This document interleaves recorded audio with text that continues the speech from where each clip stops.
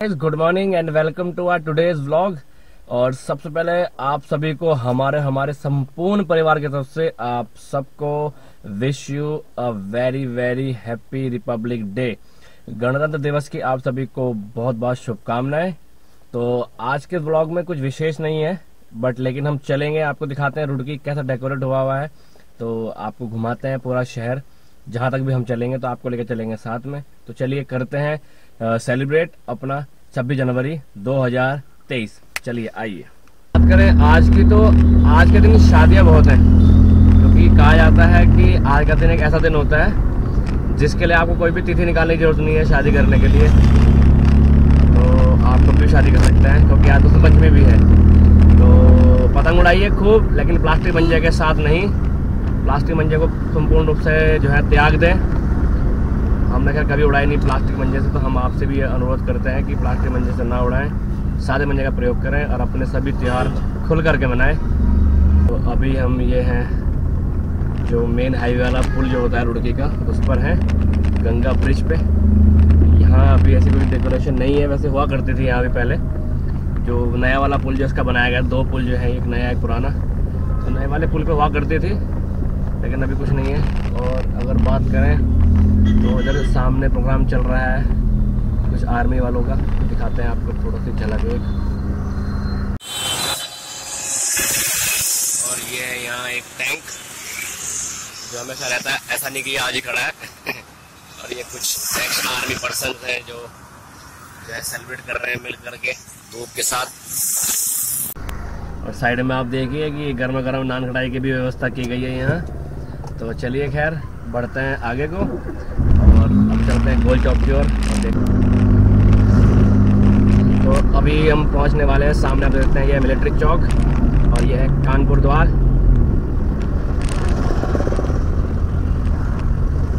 और यहाँ भी कोई ऐसी डेकोरेशन नहीं है। तो चलिए देखते हैं।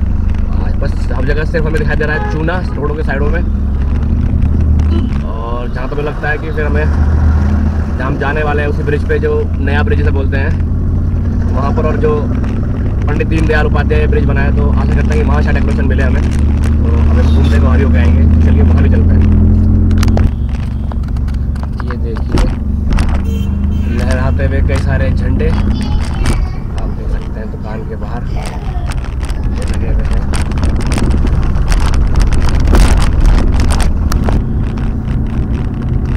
तो आप देख सकते हैं बच्चे जो ले जा रहे हैं, झंडे वगैरह। हमारे देश की शान, तिरंगा बच्चे जा रहे हैं। तो अब हम देख सकते हैं कि यहाँ हमें कुछ डेकोरेशन देखने को मिल रही है सामने।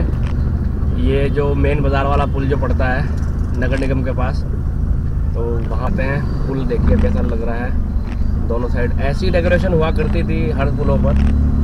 पहले इस पुल को दिखाते हैं आपको। देखिए क्या हाँ हाँ मनमोहक दृश्य होते हैं ये। इनकी भी वैल्यू तभी समझ में आती है जब ये कभी कभी होते हैं। अगर हर रोज तक दृश्य देखने को मिलेंगे तो हम भी इनकी वैल्यू नहीं करेंगे।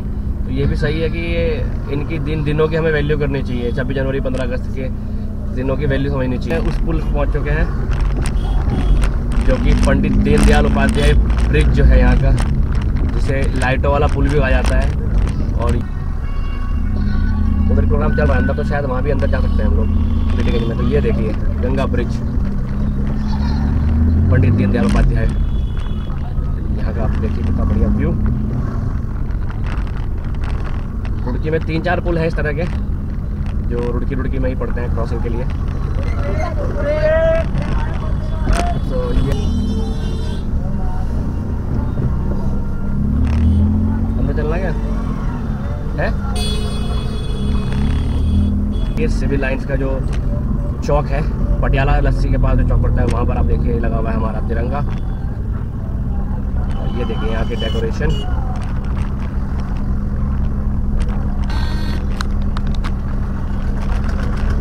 काफ़ी ढूँढने हमें आशा थी कि हमें यहीं डेकोरेशन मिलेंगी देखने में, और यहीं पे ही मिली है।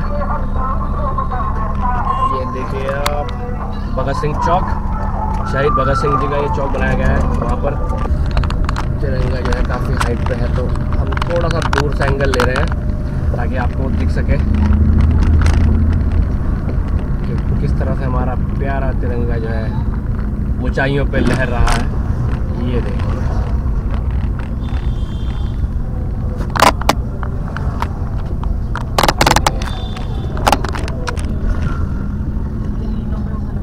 अब हम आ चुके हैं, जिसे कहते हैं नया पुल रुड़की में से कहा जाता है नया पुल।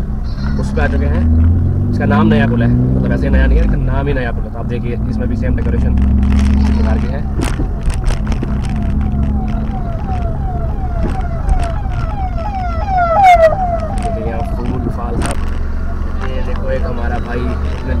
शान अपना तिरंगा कंधों पे लेकर चलते हुए।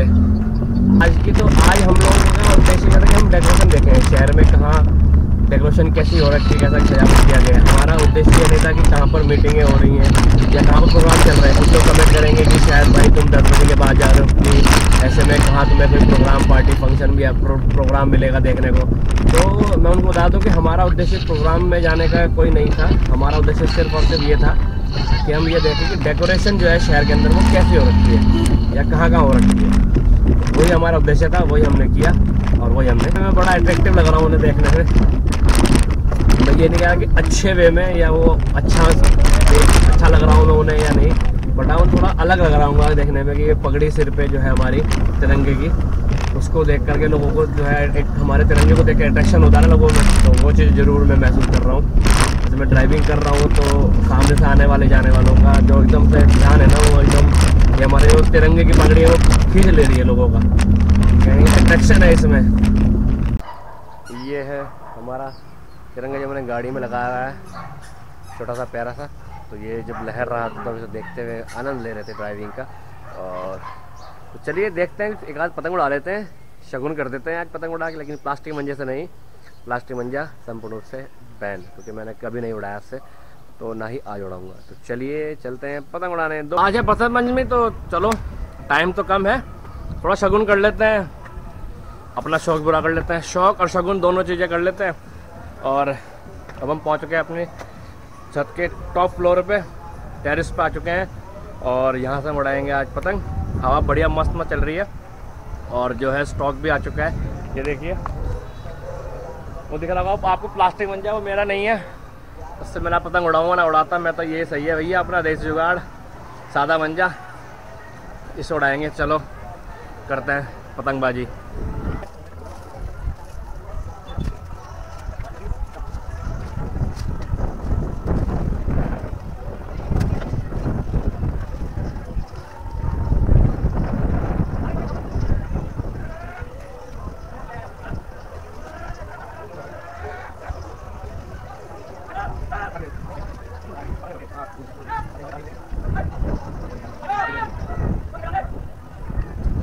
हमारा जो है वो मंजा ख़त्म हो चुका है, हमें ऐसा ध्यान नहीं रहा।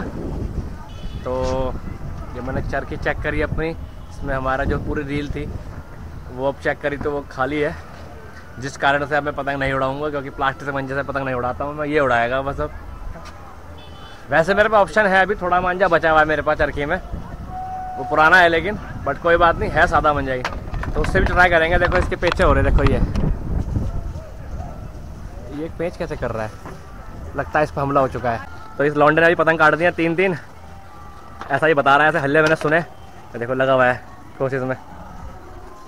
मैं इतने इसको लेने गया था। नाश्ता का इंतज़ाम मैकरोनी।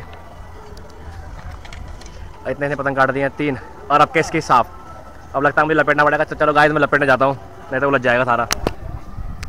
चलो भाई ऊपर को कर। क्या ऊपर को। हाँ।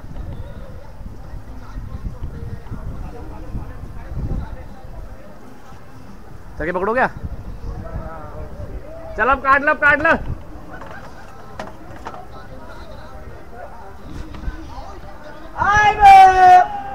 किसी काट दो ना झुट्टे